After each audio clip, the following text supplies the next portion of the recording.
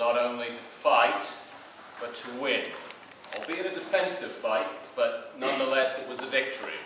And likewise, a couple of hundred miles from London, uh, mainly white male workers employed by Leeds City Council to collect the city's rubbish have actually won a victory.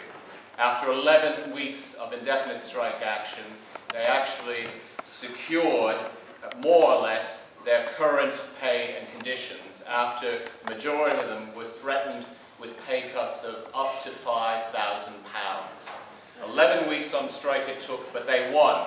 And I think at the moment we face two problems. Because in the media there is this widespread assumption that is pumped out day in, day out, that we are back to the days of Margaret Thatcher, i.e. there is no alternative.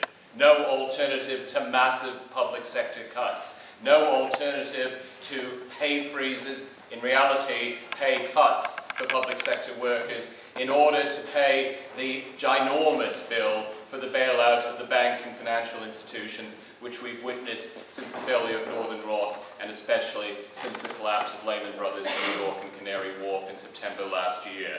Well, this resolution is stating that there is actually a rather simple alternative. It isn't revolutionary, it's actually a modest tweaking of the tax system to dramatically reduce avoidance, to actually eliminate tax havens, and to tax those who are on six-figure incomes more, whilst actually reducing the tax burden on the poorest 10% of society.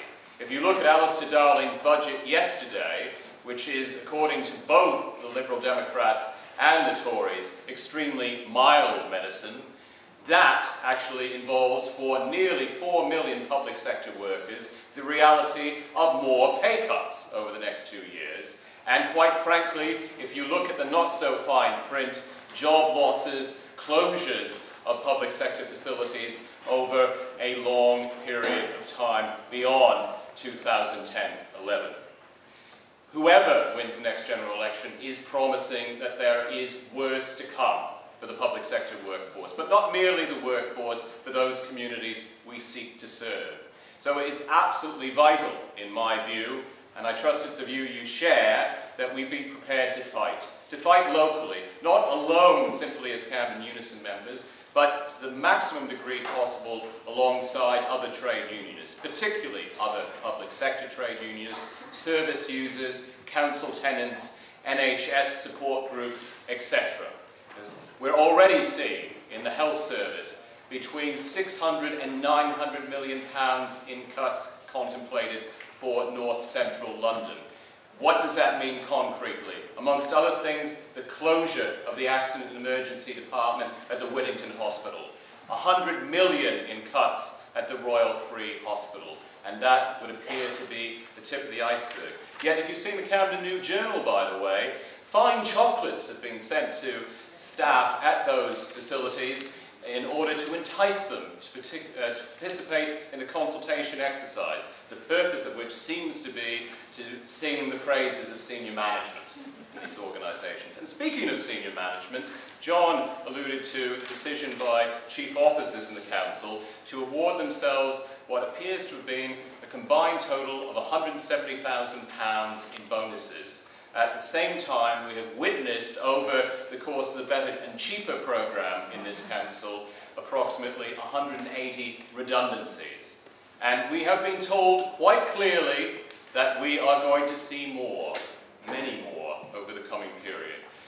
Originally, if you looked on Camden Essentials, the intranet, 44 million pounds was the figure quoted for cuts. That was in early November. By the time the report reached the executive, on the 18th of November, the medium-term financial forecast said over three financial years, at least 59 million pounds in cuts. And I received an email from a member this morning in the Culture Environment Directorate saying that she had been told at a staff briefing 65 million pounds in cuts. So week by week we've seen increases and we know that middle managers are being asked to draw up scenarios of 20% cuts. There's no way cuts on that scale can be implemented without large-scale job losses. And I mentioned earlier, we have it on good authority that there is a real threat to our contractual working week. It's only a matter of time before more threats are made and attempts are made to implement them to other conditions that we've historically enjoyed in this authority. It's happening across the public sector. It's not peculiar to Camden, but what is unusual in Camden is that this is an authority with estimated reserves in excess of 100 million pounds. Even in terms of the logic of this system, a system which I've spent my whole adult life trying to overthrow, I hasten to add, it is a situation where these cuts are unnecessary. And they are driven by a combination of ideology and an attempt in my view, fundamentally change the shape of this society, where we see the continuing erosion that began in the mid to late 1970s of the welfare state and the marginalization of trade unions as anything other than represent people at disciplinaries and grievances. That is a situation that I, as a branch secretary, am not prepared to tolerate, a situation I'm prepared to fight against. The message needs to go out from this meeting today that all of you are prepared to fight against it. That means encouraging your fellow workers to join Camden Unison. That means having some very difficult arguments about why we may need to sacrifice. Sacrifice by going on the picket line. Sacrifice a day's pay or a week's pay in order to have jobs and services in a year's time, in five years' time. To quote Shelley very loosely, we are many, they are few, you are potential lions. Please let us all arise from our slumbers, go out and beat back the attacks that we are going to witness from this point onwards and actually fashion this trade union and our trade union into a vehicle for achieving a much, much better society for all of us.